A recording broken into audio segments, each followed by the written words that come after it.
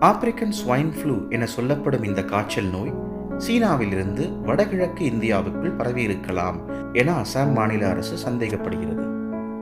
கொரோனாவை விட இது ஆபத்தான நோய். ஏனெனில் இந்நோய் நிரப்பு விகிதம் தொண்ணூறு முதல் நூறு சதவீதம் ஆகும். இது மனிதர்களை தாக்கும் என்பதற்கு இதுவரையில் அறிவியல் பூர்வமான ஆதாரங்கள் எதுவும் வெளியாகவில்லை.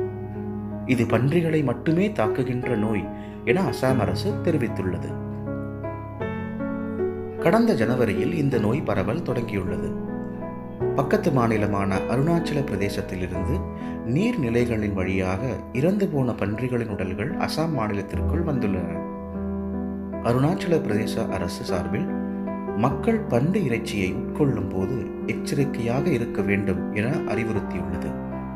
இருந்தாலும் ஆப்பிரிக்கா பன்றிக் காய்ச்சலில் இதுவரை பதினேழாயிரத்தி இருநூத்தி எழுபத்தி ஏழு பன்றிகள் அசாமில் பாதிக்கப்பட்டுள்ளன.